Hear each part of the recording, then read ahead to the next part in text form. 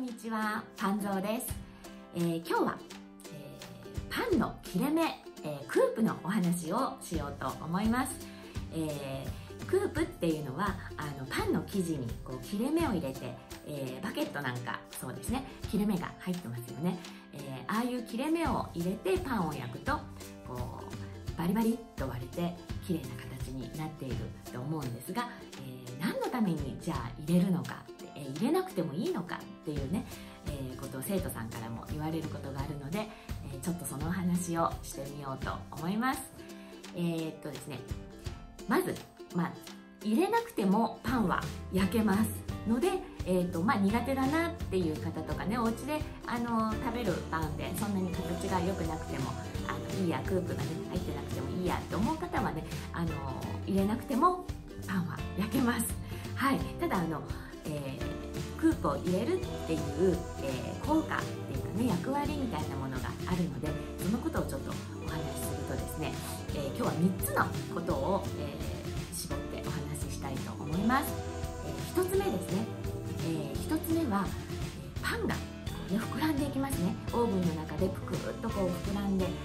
て、えー、その時に膨らむ圧力を逃がしてあげるっていうことですね。そのことによって形を、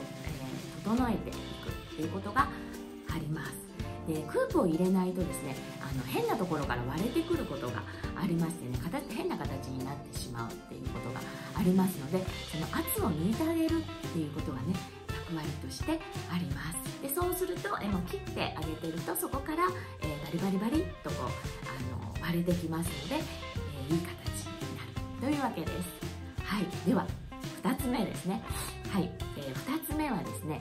えー、火の通りが良くなるっていうこともあります。だいたいクープを入れるパンっていうのはあの大きなパンが多あの多いんですね、えー、カンパニュであるとかねあのどっしりずっしりしたパンであるとか、えー、っていうパンが多いので、まあ、火の通りを良くしてあげるっていうことも一つ役割としてはあります。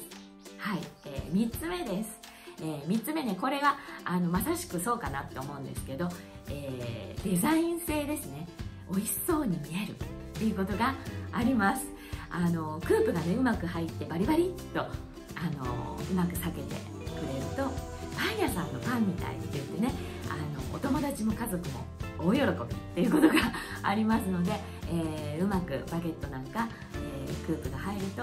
とてもね美しい形に仕上がるというね美味しそうに見えるバリバリっていうねあのことがとてもうまくきますので、えー、ぜひねあの上手に入れていただきたいなと思います。で大体クープを入れないのはあの菓子パンとか柔らかいパンですね。あの柔らかいパンはあまりねもうちっちゃいパンとかあの入れることはないので、えー、まあ、レシピを作られる方とか、えー、何かを見てねあのパンを焼かれる方はあのそことご参考になさってで、まあ、レシピにはねあのクープの入れ方あの3本入れるとか何本こういうふうに斜めに入れるとか書いてあると思いますので、えー、その効果もあるっていうことを、えー、頭に置いていただければねまた楽しいあのパン作りができるんじゃないかなと思います。はい、えー、では